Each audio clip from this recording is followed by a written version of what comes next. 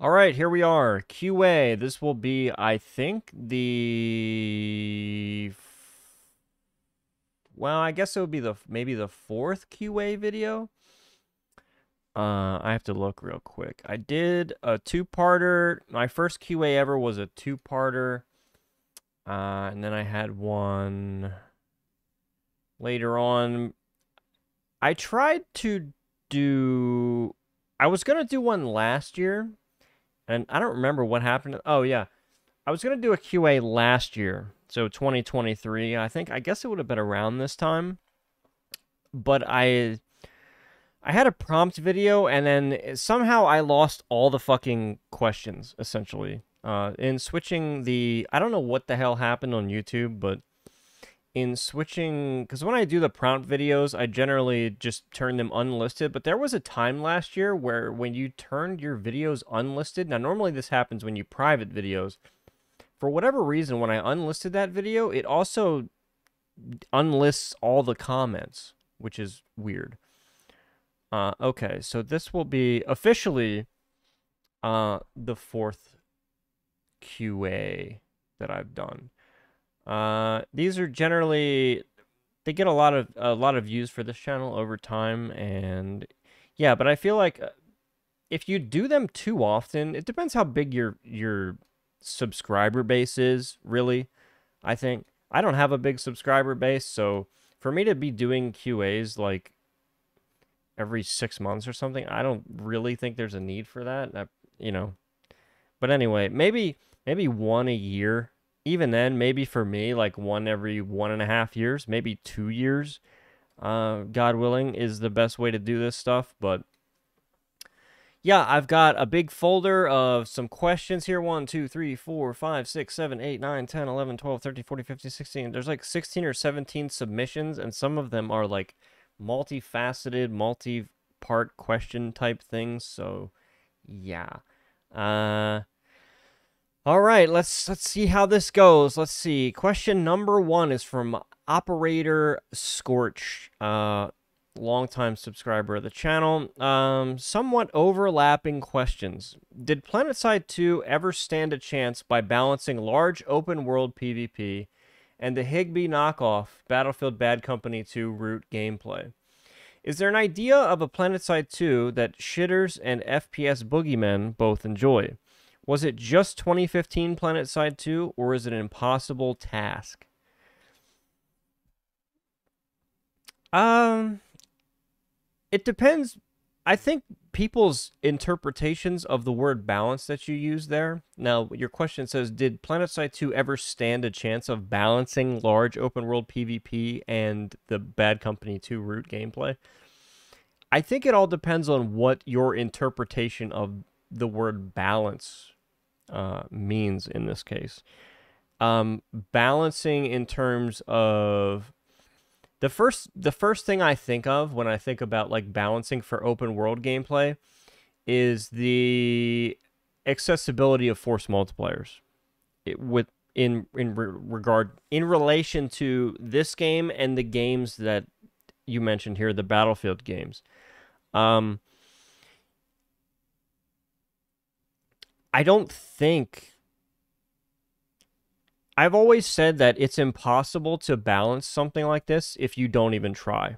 Okay? And I don't there there came a cutoff point or a point of no return, and I think this was around 2017ish where there was still a possibility that we could have a balancing point here when it comes to unmitigated force multiplier spam. Um, but it was determined at that time, and this is specifically from a Wrel quote uh, from a recent interview. Recent interview. I think I think it was in the Deeg interview, or his last one. It could have been. I, I've listened to so many of those things that they all kind of blend together at this point.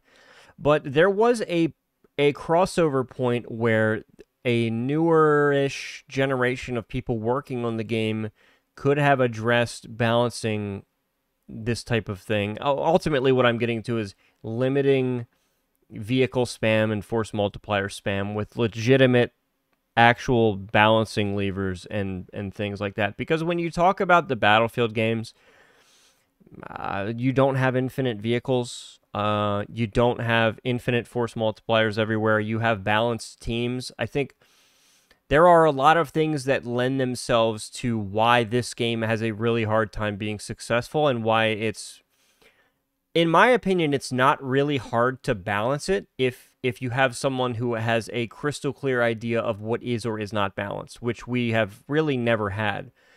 And this type of game one of the reasons this game is successful or is successful in the mind of some people is that it gives the player freedom to do whatever they want whenever they want uh, for the most part, with very limited uh, handcuffs or restraints on what they want to do when they want to do it. That is a good thing. Uh, at the same time, a level-headed person may also understand that this is a this is a bad thing. Um, it becomes a bad thing uh, when there's no like you can you can lose me with the fucking what you call it the the world or the continent. I'm sorry, Warzone um, population balance, cool. But beyond that, uh, individual fight balance uh, is something that you can never achieve. It's just happenstance, uh, which is a huge problem. And it's exacerbated by the fact that there's no restrictions on anything. So a lot a lot of people's negative interactions and negative feelings this is especially for me, for this game, uh, are specifically linked to the double edged sword of allowing everybody to do whatever they want whenever they want. And you don't have the proper levers or restraints or balancing mechanisms or checks and balances in place to keep it relatively sane. Um,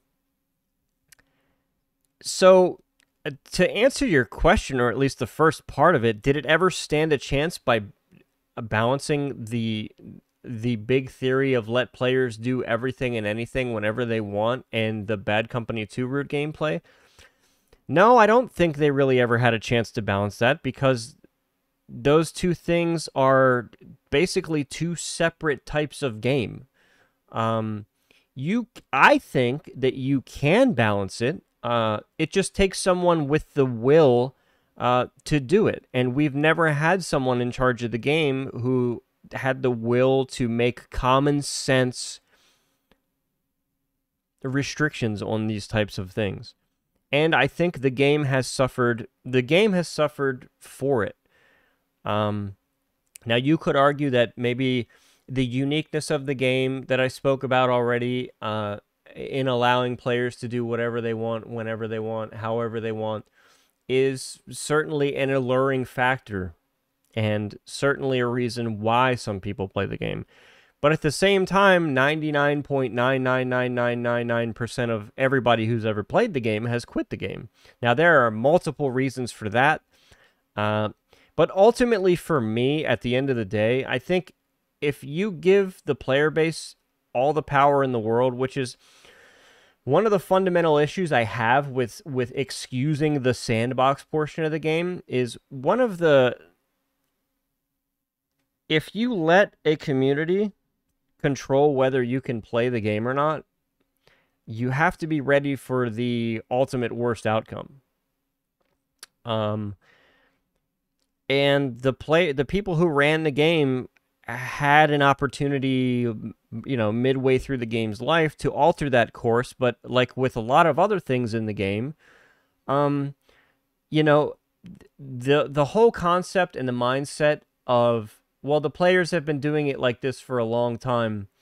It's best not to upset the apple cart, or it's best not to change this now. That's that to me is it's really wishy-washy because there's some things that people have been doing or ways that people have been playing for a really long time that are always on the fucking chopping block. I don't think I need to, you know, elaborate really further on that. There are specific groups of players who play the game in a specific way that are always susceptible to having the way they play the game on the chopping block. And it doesn't matter how long they've been playing that way, it doesn't matter how long the mechanic has been in its specific iteration or balance uh, episode, if you want. Uh, it doesn't matter because you know the whole thing about well we we don't want to upset the apple cart well uh it's kind of bullshit they use that as an excuse to change the things they want to change and not touch the things that they think are critical to the bottom line. And it generally has nothing to do with bottom line balancing your game, I think. Uh, it's just an excuse to be able to do whatever they want uh, and not really have to answer for it. And there's some hypocrisy there. It's some some of the things that they've they've chosen to do are hypocritical and they contradict uh, decisions made in other parts parts of the game and it's just been a mismanaged mess. Is there an idea of a PlanetSide 2 where shitters and and boogeymen can both enjoy? I've said this for a long time. I think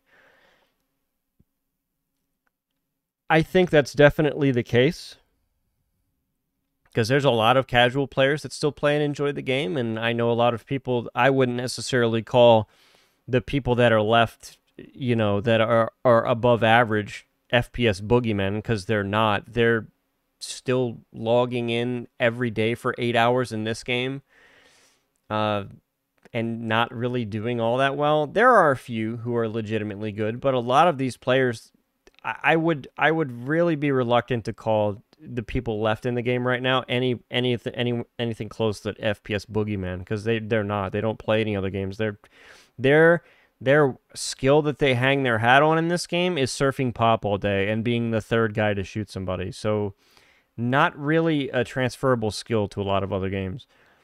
Was it just a 2015 PlanetSide 2 or is it impossible? I don't think it's impossible. Like I've said before in the rebuttal I made to Zealous that's unlisted um I, I was specifically talking about towers and the old way that towers used to be.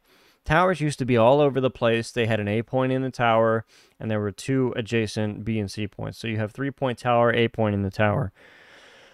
Now, back in the day, um, there was a place for both groups to come and play because your Zerg fit would come in and they'd pretty easily, with numbers, take the outer two points and they'd have a two out of three cap majority on the point. And they would ultimately capture the base, which is all the, the Zerglings they care about. They want to paint the map. Okay, good, got it. Right? So you're going to capture the base. Now, the fun for the FPS quote unquote boogeyman is when uh, the shitters don't want to have a 13 minute cap because they have to really have to move down the lane and zerg the next base. When they don't want a 13 minute cap with a two out of three majority, uh, they will try to get the A point in the tower so they can get you know whatever it got down to much faster. And when they come in that tower, uh, it's time for for FPS Boogeyman to farm the ever living shit out of these people.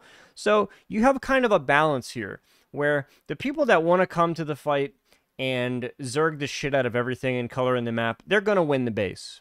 Okay, they're going to win the base. They're going to see their outfit name on top of the building uh, or on the pop up on the screen when they win the base. They're going to get their, their XP, their certs, or whatever. They're going to get that and they're going to get their satisfaction of winning the base. Uh, despite the horrific, catastrophically awful casualties that they're going to take trying to get that third point. And that's where the other side comes in. Now, the other side gets to come in and inflict horrific, catastrophic, annihilating casualties on these shitters that are trying to get the A point. So here we have the group of people that wants to farm these guys. They get to have fun. They're ultimately going to lose the base. Uh, and then the people on the other side get to have fun. I think that strikes a great happy medium and balance. Um, ultimately, if you if you're if you don't like being farmed in the tower, you don't have to go in the tower. You just kind of have to have containment on the tower to stop a breakout. But in order to have really good containment, uh, anyone worth their strategic salt would know that you've got to get bodies in the tower to slow down and prevent people from coming out. That's just the way the shit works. So I think that was a good happy balance. And some of the most fun I've had in the game has been defending towers against insane pop and just inflicting horrific deaths upon the people that are trying to come up those stairs or camp the spawn or it, it just a lot of some of the most fun times I've had playing the game. Now, the problem comes when you take that, which I think is a, a pretty yin and yang balance type of thing, where both sides can be happy and have that gameplay. The, the problem here is that the Zergling shitter player side is extremely selfish and uh, has no they had these people have no sense of what is or is not balanced because I tried to explain that dynamic to Zealous and he has a massive mental block about this because his mind is evolved in the shitter zergling mindset and they they cannot understand a perspective outside of their own whereas well, something I also tried to explain is players like me all started that way. We all started that way. We were all Zerglings. We were all in the Zerg fit. We all existed and lived and played in that mentality for however long it was before we decided to grow the fuck up and get better and learn more and expand our horizons with how we wanted to play the game and we wanted to have more autonomy and be more self-sufficient. Um, yeah, we have been there. And this is a point that I've had to make over and over again because what the shitter casual Zergling does is they project their ignorance and lack of perspective and understanding of the game onto whoever they're arguing against, be it me or whoever else is, is arguing for something against uh, what they think. And it's totally and completely projection because all of us that were I just described, we've all been there. We all understand that. I understand both sides of the coin. You know, I've played games as a shitter. I've played games as a good player. I've played games as a beginner. I've played games as an advanced player. I've played games, you know, I have lived and played in both ends of the, the spectrum. And the problem for these guys that are stuck in the one end is they have no perspective. They, they don't they don't understand what we're trying to accomplish here in balance. Now now that stuff I just laid out to you for why I think it's a good balanced dynamic with the example of of a tower, a three point tower fight. These people can't get there because they think that just because they brought more people to the fight, and this is the fault of the game and the fault of the developers, and to a lesser extent, I think, a, fault of their own, they think that just because they dumped a whole bunch of pop on the base, they have free reign. They should cap the base as fast as possible. Um, and they should have no struggle at all whatsoever. There should be no conflict. There should be almost essentially no PvP in the in the PvP aspect of the game, which is, as you mentioned in the question, it's an open world PvP game. But I find a lot of the players on the other end, the bottom 80 to 90% shitter casual Zerglings, they oftentimes don't want to interact with the PvP portion of the game. I mean, log in right now. That it's it's early in the morning. Go log into whatever dead server that you're on, and honestly try to find someone who actually wants to have a fight. Good luck. Okay. I'll I'll give you an anecdote for this. Uh, one of the I've been playing a little bit more lately, and it was about a week ago I logged in, and there was an alert continent, and just so happened to be this is even this is rare now. There was a second continent open. It was Hossin, with unstable lattice lanes, and I think it was one of the biolabs on the eastern side of the map, um, up in the north and there was there was some guy there trying to ghost cap it. Now, if you know me, I'm fucking ghost cap defense force. I love going to these low pop fights and fighting like six, seven, eight guys and stopping them from capping a base because these guys are on the off continent.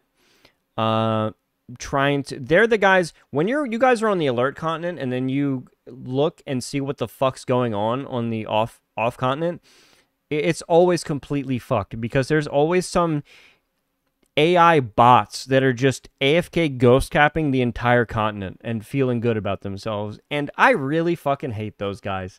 I hate them with a burning passion. Um, so I go and I let them experience the game, which they really don't like. And in this particular example, I went to this biolab and I, I was fucking around. I had like the anniversary edition fucking MCG on, uh, just eh, whatever. And this guy had capped uh, one point and he was running and arming the generator. And I ran up behind him and I chain headshotted him with an MCG from behind. And he was playing heavy. And then he immediately respawned as infiltrator. And there was an, another guy, there was maybe two more guys trying to cap points around the base there, enemy players, and I kill them over and over again. And this guy specifically wanted nothing to do. Now, remember, we have never even been in a gunfight. I've just shot him in the back once. And he's hiding somewhere in a corner as an infiltrator, as they do, waiting for me to leave and go kill the other guys. Because the other guys were like on the other side of the base on the A point. I would go over there and kill them. And then this little rat this little rat would go onto the point and cap it and then run away and hide in like the woods or whatever. And it's like, bro. So I said something in the yell chat. I'm like, play play you play the play please play the game, dude. Like you're so annoying. Or I called him like a little infill rat shitter or something. And he, man, this guy sent me tells for I think 25 minutes straight about how I ruined the game, and blah blah. And i'm like dude just respawn and try to take the base. Just respawn and try to take the base. Just respawn and try to take the base. Just respawn and try to take the base. Play the game. Shut the fuck up. Play the game. And ultimately this guy is mad that someone came and stopped him from getting a free base cap. Because free base caps for a lot of these people they're non-fps players. I've talked about this a billion fucking times. These shitty awful mechanic non FPS players come to this game and they think they just get to walk around all over the place and cap free bases because for the most part, it's sitting in Zergs and capping dead empty continents. Yeah, they get to play like that. And it's a big source of their cert income because they certainly don't get any certs from killing people or engaging in activities related to playing the fucking game. Uh, they're much more happy to accumulate certs by wandering around aimlessly and doing fuck all nothing and or hiding in a corner as an infiltrator. That's how these people play the game. Whatever. If that's the way you want to play the game, great, fine. But I'm so fucking tired of these people, man. I'm so sick of them. And really, I'm sick of the attitude they have when someone who's actually wants to play the game like comes and wants to fight these people. Like, so sorry, sorry I came to your ghost cap fucking biolab and killed you. I'm sorry I interacted with other players in the game. My bad. But yeah, that gets to that gets back to the mindset of that's the mindset of the Zergling shitter rat player that is left playing this game. So the the in terms of what's balanced and what's fair uh you you cannot you can't you cannot reach those people uh because what what in general is fair given the the tower anecdote and all that for both sides of the gameplay experience for people it's just you are never going to get any concessions from the guys like Zealous, the guy in that biolab who who thinks it's a fucking crime that I come and kill him one fucking time in his ghost cap.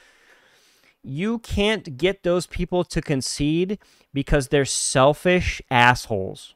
They don't care. They don't care if the game is good or not. This is the problem with the casual player, man.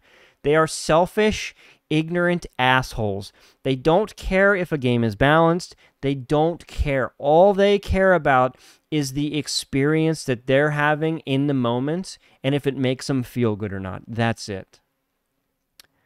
So, yeah, to answer your question, with given the populations and whatever population this game is going to take forward into whatever, if ever, a future iteration of the game, it's impossible to balance them because there are people who actually casuals don't actually give a fuck about a good the game being good or well balanced. They don't care. Read between the lines. They don't give a shit.